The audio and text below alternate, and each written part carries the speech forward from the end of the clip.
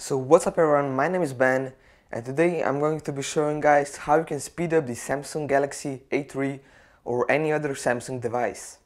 So if you guys know the lag when you open an app, so let's just open Play Store for example, um, and no sorry I can't open Play Store right now.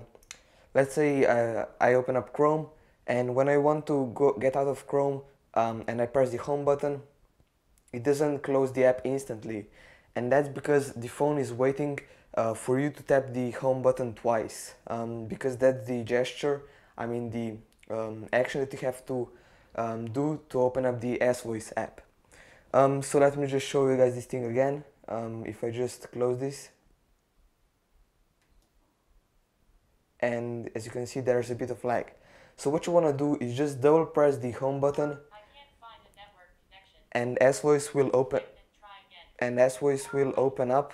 Uh, and what you want to do here is just click these little three dots and go into settings and um, untick the open via the home key. Um, and now you'll notice the home button works a lot better and a lot faster too. So let me just demonstrate it for you. Um, let's open up Chrome again.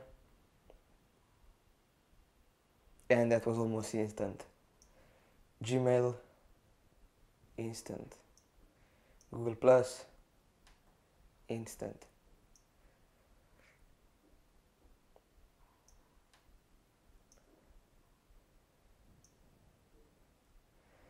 And yeah as you can see this uh, the phone works a lot better once you disable the double um, double tap on the home key.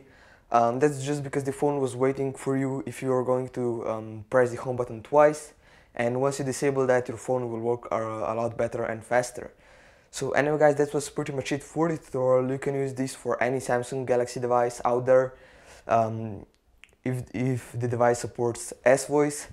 And yeah if you enjoyed this video then definitely make sure to drop a like comment down below with your thoughts and finally be sure to subscribe for more high quality Android content